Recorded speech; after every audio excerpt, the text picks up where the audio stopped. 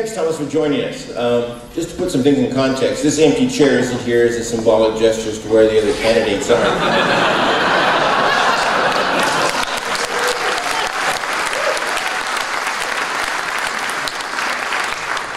it's just an empty chair preparing for the three critics from the other parties, okay? Um, we're not, it's not a political statement. But, but having said that, where are your colleagues tonight? I gotta tell you, I'm a little embarrassed because uh, I was looking forward to this uh, in, a, in, a, debate format. For those of you who have been reading or will be reading the media tomorrow, you will find that uh, I have been calling for a public debate. You know, this may be a leadership of a political party, but at the end of the day, we're choosing a premier for this province, and we know what profound influence uh, premiers have over policy, over ministers, over direction of our province. And uh, it would have been nice to be able to publicly, openly debate uh, issues that really matter, particularly education. But you know what? We'll make the best of it, and uh, you'll have to take it from there. Okay. Thomas, we have four themes that we want to talk about, and questions around those themes and looking for your reaction. This is not a won't be a formally structured conversation, it'll be more of a conversation. But it's important to ATA members that they get insights from you on these four themes uh, and other ones. We can, we can digress, but I really do want to cover these four themes on. And they are educational transformation, public education funding, the profession itself, the teaching profession, and then some non-educational issues. Um, I'm sure you'll enjoy those ones as much as you did the first three. so we got 45 minutes, and I have an opportunity here. Um, it's your floor. Uh, you've got two or three minutes to open opening remarks. Tell us a bit about yourself. Why did you decide to run for leader, and why are you in this game? Well, thank you.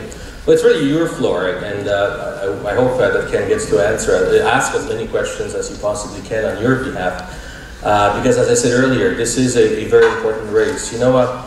One of the rare opportunities that running for a leadership of a political party uh, affords you uh, is the opportunity to actually be yourself. Uh, when you run for office, uh, for an elected office uh, in provincial or federal politics, you, you usually run under a banner of a political party, under a certain leader, and, and there are parameters set for you. When you're running for a leadership of that party, you're painting on a blank canvas. Uh, so what I find particularly particularly uh, rewarding is that for a first time in my uh, some 14 year politi political career, I get to be Thomas. I get to be myself, and I get to paint the picture of tomorrow in Alberta the way I would like to see it, the way I think Albertans would like to see it, and uh, and I hope uh, to have the opportunity to share some of that uh, with you. No, we have a great province, uh, envy of, of many jurisdictions. We know we have one of the best education systems in the world. Uh, but there's a lot of room for improvement uh, on the social side, and I've always been very passionate about that. Uh, if we are to grow our economy, if we are to finally not just talk about it, but diversify our economy, imagine if Alberta became a food producer for the rest of the world.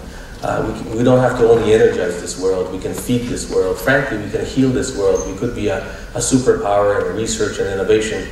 In order for that to happen, we have to build a province that actually attracts people. We have to build a province in which our kids will want to stay we have to build a province that we are proud of calling home. Because at the end of the day, we are building a home for many, many generations to come. This is not a work camp where people come, work for four or five years, make a lot of money, and try to leave as fast as possible. But that means that we have to make some very purposeful decisions over the next uh, few years. And, uh, and I have a vision that, uh, that, I, that I find uh, would get us there. Uh, and I'm hoping to be able to share some of that with you, predominantly uh, as we know, obviously, education is at the very center of it. And uh, when I was a Minister of Education, uh, we had what I consider to be a, a good relationship. We talked, uh, we visited each other. Uh, we were focusing on inspiring education. We were focused on the most important part, the classroom, because that's where it all happens, that's what it's all about. And I'll be the first one to tell you uh, this relationship that I have been observing from, from outside over the last year or so is not the kind of relationship I would allow to happen under my leadership. Uh, at the end of the day, education consists of, yes, the Department of Education and some of the research and leadership that they are supposed to bring forward, parents who are uh, stakeholders in the system and provide us with very valuable feedback, but also you, the teachers, the professionals who are in the classrooms every day. If you try to develop policies and if you want to move forward with the system, not including one of the three parties, good odds are you're going to be misguided. That's the kind of a relationship we have. And that's the kind of a relationship I would like to reconstruct in a hurry because we've, we wasted a lot of time. And uh, that is a time that we can't afford to waste any further. Our kids' education and their future is at stake.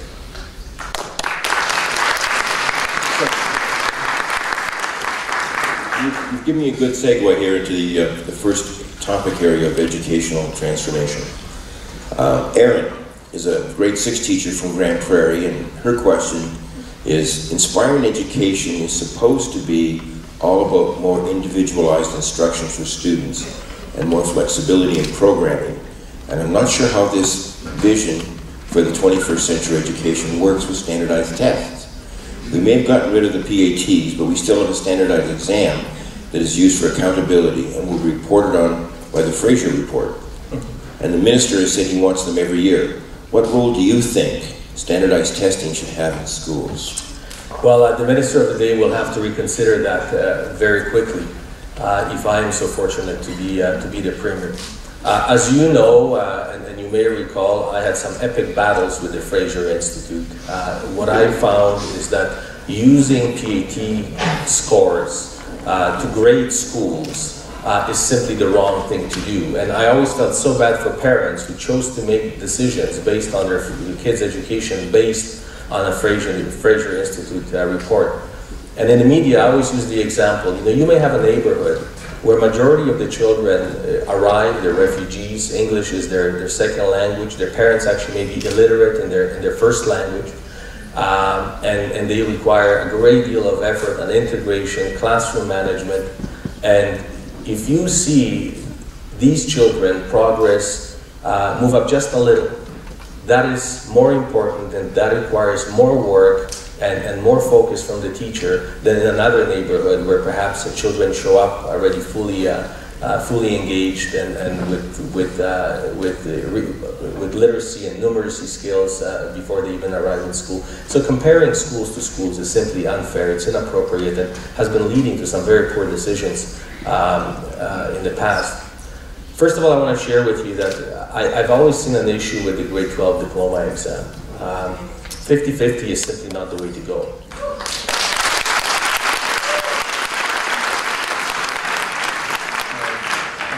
I, I would be a hypocrite if I told you that I know what the number should be while I just told you that we need to talk and we need to make decisions together. The number I have in mind, and that would be a good starting point for a conversation, is somewhere around 70 30. Uh, and let's take it from there. But the fact is that I put much more credence uh, in teachers' individualized assessment of a student's progress uh, than simply one snippet in time uh, on, a, on a PAT exam.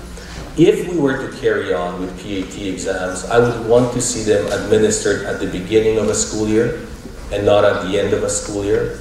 Uh, perhaps that could serve as a tool to a teacher to assess uh, where they're at and, and what their new cohort of teachers, uh, students, um, uh, where, they're, where they're faring at. But at the end of the day, those tests were simply misused uh, by third parties and were not serving the purpose that they were intended for. Inspiring education. Mm -hmm. A lot of work's been done on that, a lot of expectations. Good report well received, generally speaking.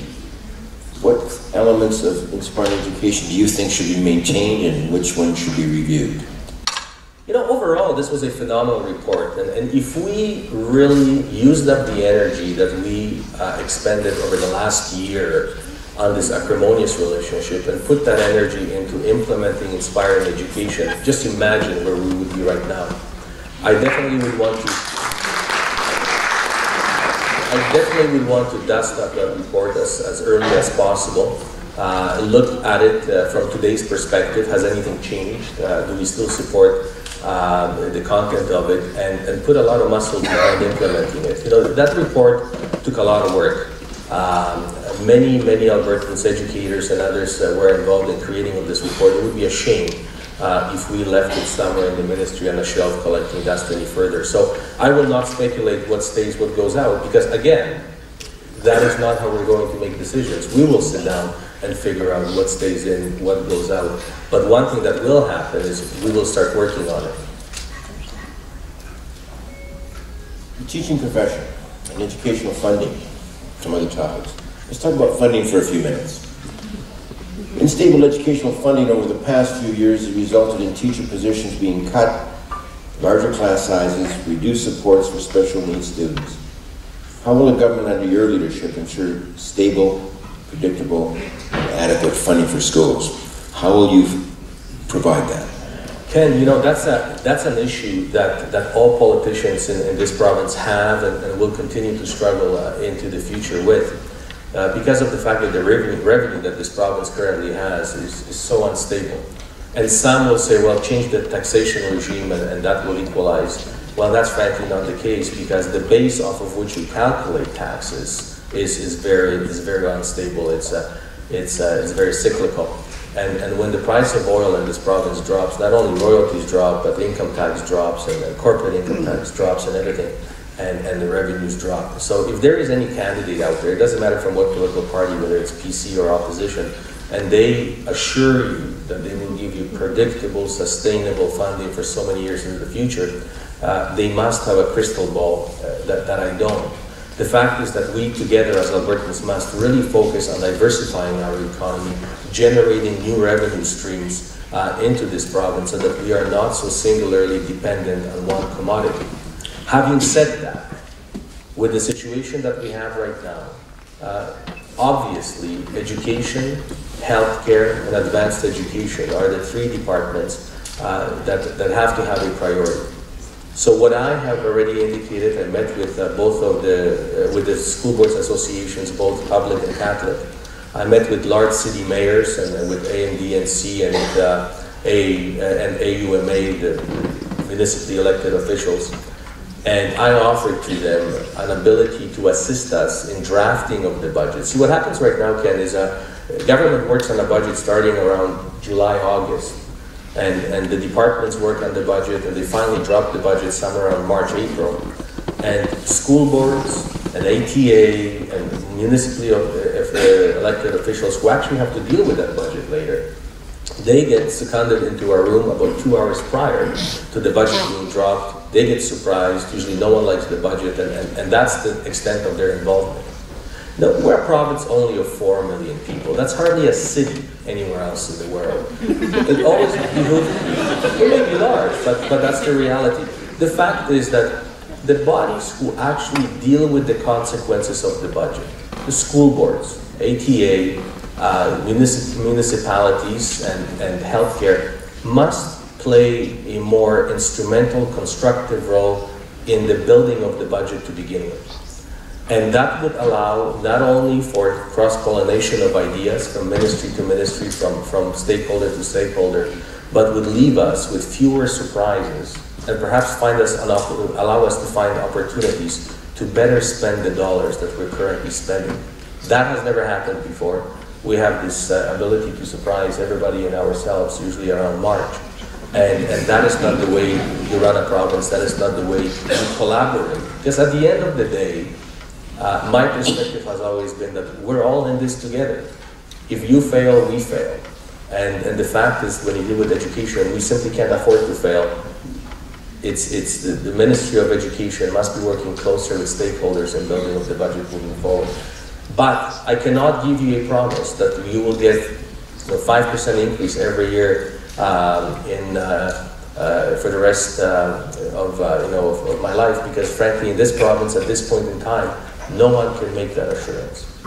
But if you're going to do results-based budgeting, and you have been working on that as a government, will that continue under your leadership? And if it's going to be results-based, then if you want these results, we have a pretty good idea of what it takes for resources to get there, both human capital, uh, cash, and facilities. That's right. Ken, resource-based, uh, re result-based budgeting was a great idea, but it was rather superficial up to this point.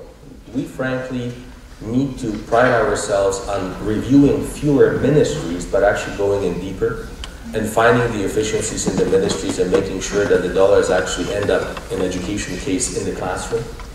Um, you know, that speaks also, uh, I've heard Mark uh, talking about workload. No, the administrative burden that is being put on principals and teachers right now, a lot of it can definitely be eliminated because you're getting piled on by the principal, by, by school board, and, and by the department.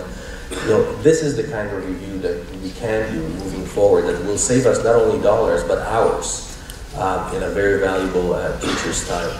Uh, that would be one mechanism of, of transferring dollars.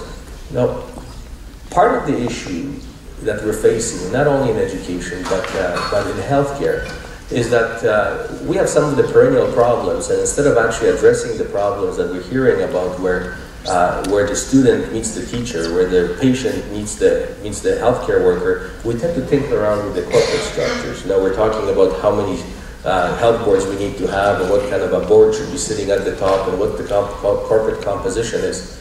But when you actually step back and when you actually listen to frontline workers, it is just amazing what kind of ideas they have and where, can, where they can save you money and give you ideas on how the system can be delivered better, more efficiently, efficiently and actually with better results. So um, that's how I usually manage my ministries, uh, dealing with frontline workers, and, and I would expect uh, all ministries to do that. And that's part of result-based budgeting. You know, we, we, in the first phase of it, we took a very corporate approach to it from top down. We need to go deeper, we need to go to front lines and see how we can redirect some of the resources. Natalie is a sports teacher from Lethbridge, and she asks, the recent movement back to inclusive classrooms has come alongside to, uh, with cuts to funding for programs such as class size initiatives. The result in some districts has been a reduction in classroom learning assistance and a lack of support for teachers in the classroom. Student numbers in classrooms keep rising, and some classes have up to five special needs students in a single classroom with no learning assistance support. The argument teachers keep hearing is that the government gives funds to the school district and then allows the districts to direct the funds as they see fit. Natalie says this strategy is not working. As Premier, would you be willing to take a stand in setting standards across the province that forces school districts to meet classroom size and composition requirements? No, that is a, that is a good question. No, I, uh, I've done a lot of work on, on, um, on, on, files that related to persons with disabilities, and, and, and one thing we need to look at immediately is the entire funding formula for a person with a disability. Because there are disabilities that simply never change. We, we know that, uh, that the diagnosis will remain the same and the person will have the disability no matter what age they are. And that they will be dependent on some form of external assistance, uh, no matter whether they're preschool, whether they're in school, or, or in, a, in, a, in employment.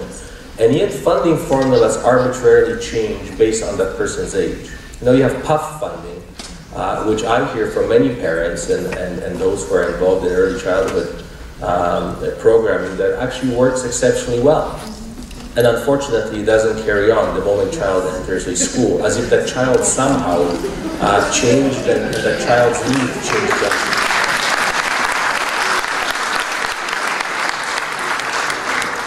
It works for Johnny before he enters kindergarten, odds are he's going to work for him after.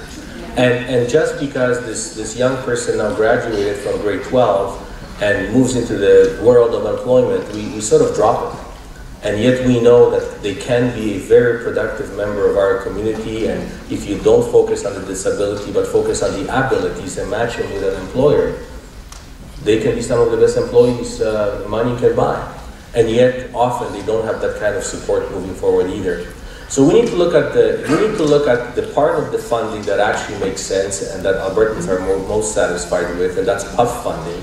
And looking, we have to look at ways of extending it throughout the entire life of the child. The fact is that we know that this child will need this kind of this kind of level of, of support, and and it is up to us to do it. Um, explain, explain PUF funding. What is that? Well, PUF funding is very much individualized and, uh, and, and the resources that are afforded to the child uh, are, are, greater because of the fact that yes, the dollar allotment is significantly higher, but it is much more flexible uh, funding. But it ends the moment our children enter formal education. And uh, And, and we hear very often with parents that, you know, my, my kid was doing so well before he entered school, and now look what happened. well, it has nothing to do with the fact that the child entered school. It has to do with the fact that we dropped the child, and, and we no longer support that child the way, we, the way we did prior to the child entering the school system. Uh, it makes us all collectively look pretty bad, but it has nothing to do with uh, what happens in the school. It has to do with, with the funding model. So that gives us a great segue into the teaching profession. Uh, Dave is a math teacher from Edmonton. The provincial contract that was legislated last year was supposed to address teacher workload issues. But instead of actually devoting effort to make such make it work, the minister forgot about it and focused his energy on attacking us. We received three zeros and our workload issues aren't getting fixed. When every teacher's contract expires in 2016, 45,000 teachers in Alberta will be without a contract. What priority should there be for the next round of bargaining? And what do you see as a sustainable salary increase? it's, a, it's, it's, not a two-part question. It's a math. It's a math question. It's a math question. Uh, well, first of all, you know, nothing will happen. Nothing constructive will happen until we put uh, this acrimonious relationship on ice. And, and, and that will happen uh, if I'm so lucky to, uh, to be uh, the premier with, with the upcoming cabinet shuffle. Uh, we have to start a new relationship. That's all there is to it.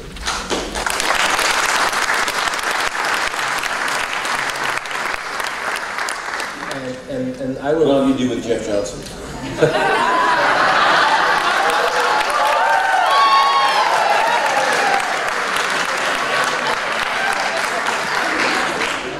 Maybe I won't to not supporting. But, but the fact of the matter is, you know, we, we would waste even more time if we would then point fingers. You know, it's time for, for a reset button. Uh, we know it can be done. And, you know, tell me by, by yay or nay, but, but I considered our relationship when I had the privilege of being a Minister of Education to be a good one. Uh, you know, it can always get better. There's always issues that we deal with. But at the end of the day, it is not the issues that come up, because there will be issues that will come up. You know, we will negotiate wages and, and, and who knows what will happen. But if there is a respectful relationship, when I can pick up a phone and call Mark or vice versa, or, or, or go for a, uh, for a private discussion with him, when, when we know that there are no hidden agendas, and when we all agree that at the end of the day, we're working for our students in the classroom, we can deal with everything. We can deal with, with anything future throws our way. So I will expect that kind of a relationship to happen between the Minister of Education and ATA.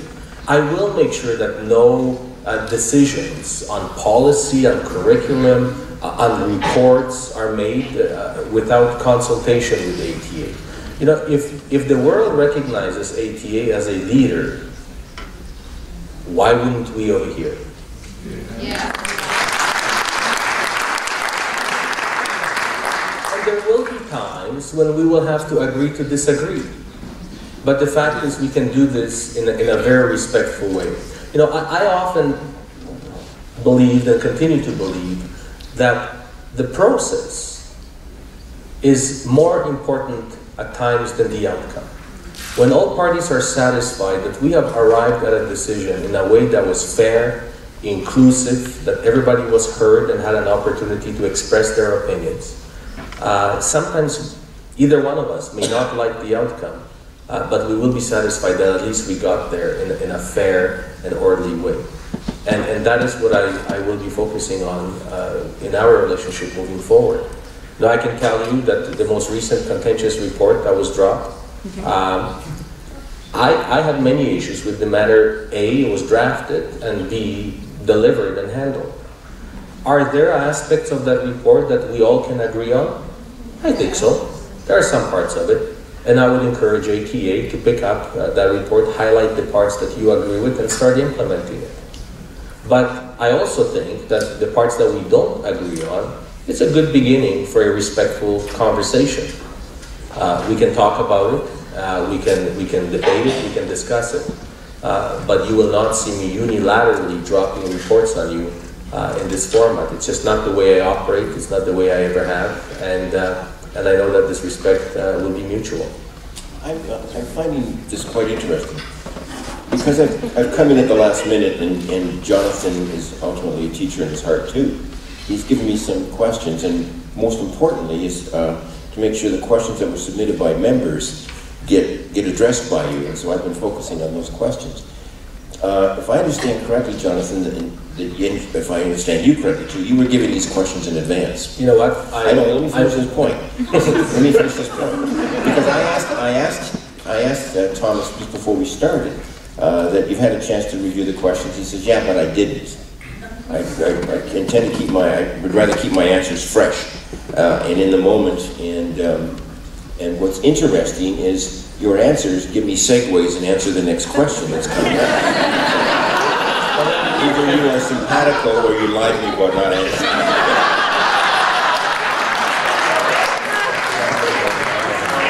I lie to you? I'm a politician. Of course.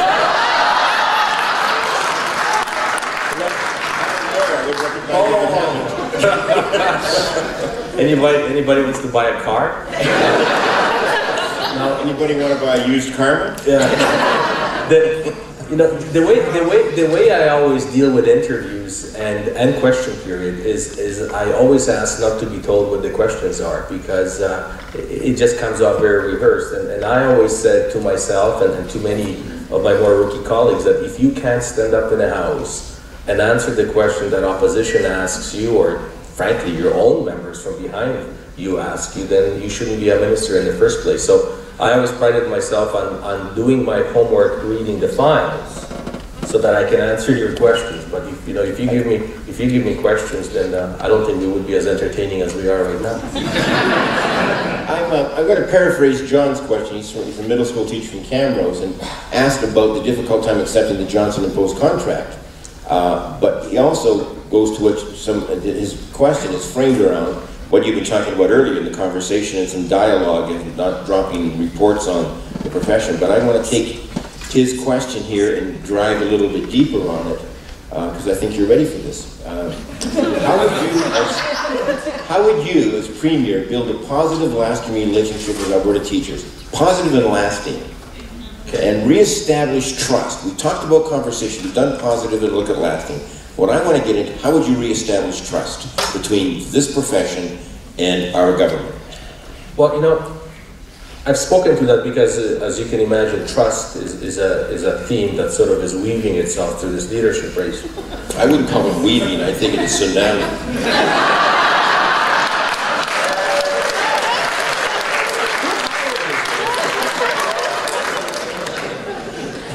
Be it as it may.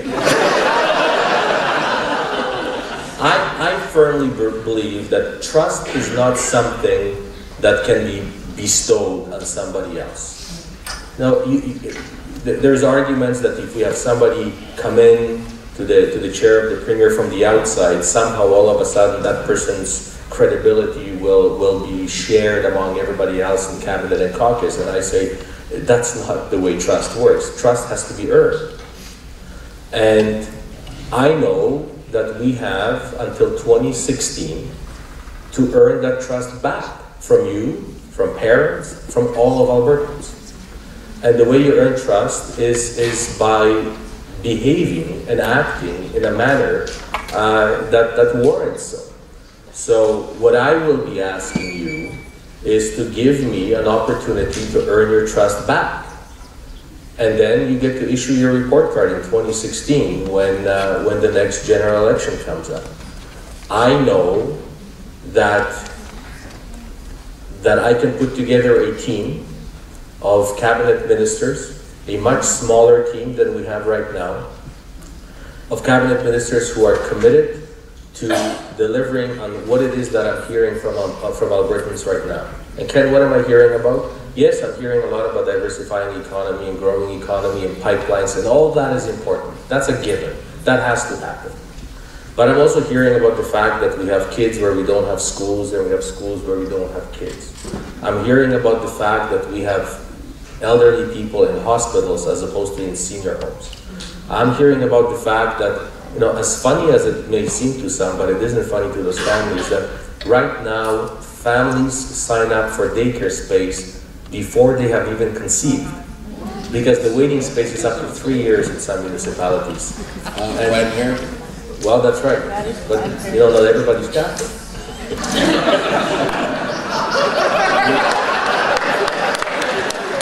we, we, a, a, lot of our, a lot of our, a lot of our infrastructure is deteriorating and hasn't been maintained. Those are the issues that I'm hearing about from Albertans. And if we purposely plan to deliver on those commitments, if we bring our relationship uh, to a level where we can where we can be in the same room and focus on children and focus on the classroom. If we actually fix some of those perennial issues in healthcare as opposed to playing around with the corporate structure of Alberta Health Services, I firmly believe that Albertans will look at our track record of the past, not just the last year, but of the past, and, and will give us uh, uh, the privilege of, of being in government uh, following 2016. But that will be up to you to decide, and that would be up to me to prove to you over a rather short period of time. So let's move on to some other issues. Um, Dan is a substitute teacher from Calgary, and he asks, Leaders and governments come to power by flying the banner of no new taxes and rely on energy royalties to pay for priorities like education and healthcare. You've touched on this earlier. But royalties fluctuate, and as a result, priority areas like education and health receive unpredictable funding. As Premier, what changes would you make to ensure, one, that priority areas receive predictable funding, and two, that royalties can be invested in ways that improve the future of Alberta rather than paying for its day-to-day operations? We have between, on a good year, 15% of general revenues coming from non-renewable resource revenues, and a bad year, 50%, right? It seems to me that that is stealing from other generations when we started using non-renewable resources like that for our general operating is and no new taxes. What would you do about the tax situation? You've answered the predictable funding question in part. I'm not suggesting you don't do it again, but I'm interested in how you see the use of royalties and resource revenues um, as, as how they be invested. Well, number one, Ken, we have to look at how we spend the money we, we already have. And, and I've been very firm on the fact that our operate, operating budget must be balanced. You know, families don't borrow money or shouldn't be borrowing money to buy groceries. But we all borrow money to buy a house. No, we don't live in a tent for as long as it takes us to save money to buy a house and then buy a house. We, we mortgage and we amortize the cost of that house over 20, 30, whatever, how many years your mortgage is. And as long as that house is worth more than your mortgage, you're not really in debt. You have an asset that outweighs, outweighs your liability. Businesses do this. As a matter of fact, even when they have money on hand, they don't spend their cash. They amortize and with the AAA credit rating that we have in this province, it simply would not make sense for us to do it. And I know that there are those who are very ideologically driven, and they say, no, no matter what, you cannot do that. The fact is, we must do that.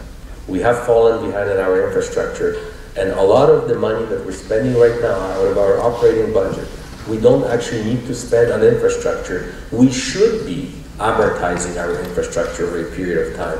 The school we build today is not just going to serve our children today. If we build it right, it will actually serve children for the next hundred years. There's nothing wrong with amortizing that cost over 20 or 30. That itself would liberate a lot of cash, cash flow, to be able to address some of our operating deficiencies that we have right now. You know, this province, from a royalty perspective, is very volatile.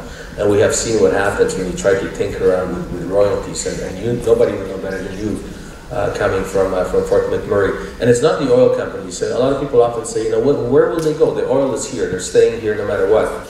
The oil companies will, but the investment that actually allows them to extract that oil comes from, from uh, financial houses all over the world, New York, uh, Paris, and other places, and they will invest in other commodities. That money flows back and forth, and we've seen some of it when Premier Stelmach tried to uh, tinker around with royalties. Taxation in this province is still a four-letter word. but we need to have a conversation. You know, uh, we've seen a, a trend uh, from time to time here and, and, in other jurisdictions when government comes to you and say, you have a problem and I'm here to fix it for you, uh, before you actually realize that, that you actually do have a problem. That is not the way governments are to operate. Uh, we, we, we should be engaging in a robust discussion with Albertans, all of us, on what our tax structure should look like moving forward. Uh, but in the meantime, that will take time. Will that, Get- before that we get to that point, will that let's spend our discussion on, will that discussion on tax structure include a, pro- returning to a progressive tax? And, or will it include a possibility of consumption tax? You know, I'm always open to any discussion. I've always said that, and you probably heard, heard me say it, that when you're in government, no topic should be taboo.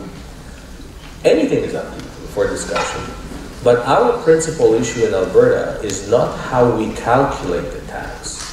It's what we calculate the tax off of. And the base off of which we calculate our tax fluctuates up and down with the price of a, of a barrel of oil. That's why a long-term solution in this province, and we talk about it a lot, but every time oil hits $100 a barrel, we say, ah, never mind, we go back on the gravy train.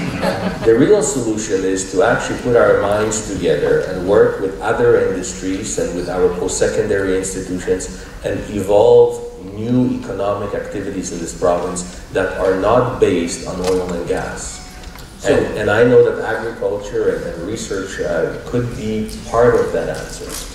We're just about out of time, Thomas, and uh, I want to get one more question in that you again give me the segue. Natalie is a learning support teacher from Lethbridge. She asked, the federal government has systemically removed environmental protections from parks, forests, and waterways to allow gas and oil companies to mine our natural resources.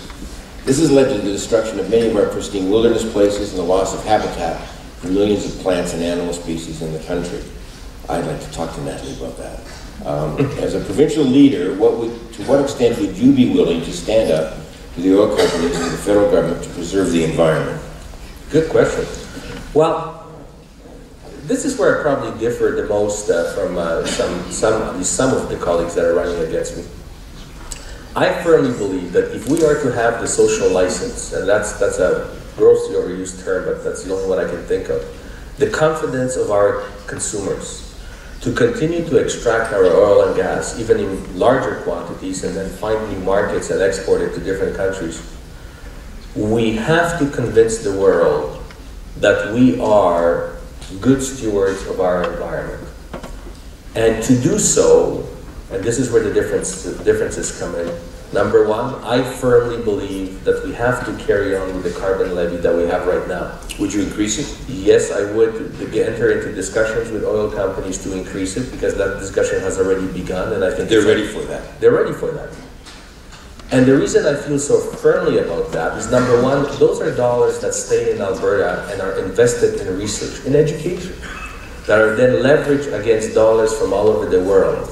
Because there's no reason why this province should not be the center of excellence on technologies in, in environmental protection and stewardship of environment, pipeline construction and pipe, pipeline maintenance and then monitoring. That is the fund that we should be utilizing to do so. Second one is carbon capture and storage. You know, I don't care uh, what some uh, individuals who are again driven by ideology will tell you that this is a science experiment. It isn't. The fact is that this is carbon that we're not emitting into, at, into our atmosphere. We're storing it. And companies like Shell, not Shell Canada, but the mothership of Shell Canada back home, back home in Holland are showing us that actually they're using now this, this, this carbon that they stored as a feedstock for greenhouse operations. They're getting into agriculture. And I know that we will find uses for, for carbon uh, as a feedstock for other industries. We're doing that in Fort McMurray right now. That's right. But most importantly, Ken, the fact is this. If we don't carry on with those two initiatives and we, we take the lead of, uh, of some other candidates, we will not meet our self-imposed environmental targets. Imagine going to the world and saying, please buy our product when we don't meet our own environmental targets. We can't afford to do that.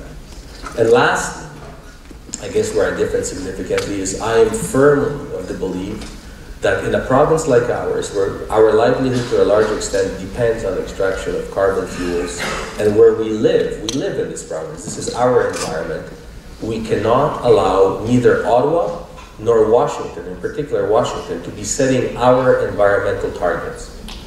This is our environment. We must be in charge of setting our environmental targets because it will be our children that will be living in this province into the future. Thomas, we're just, we're just about out of time. In fact, we're a little bit over time, Can I have the other two candidates' time?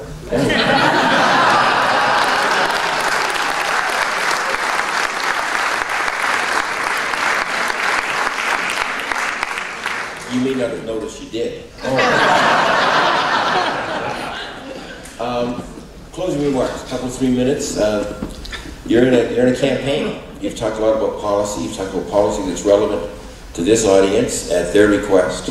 Um, What's your message to them at your request? What's your ask of them? Well, thank you. Well, first of all, I would ask you to, to take a minute uh, when, when you have one to, to get on my website and, and look at the platform.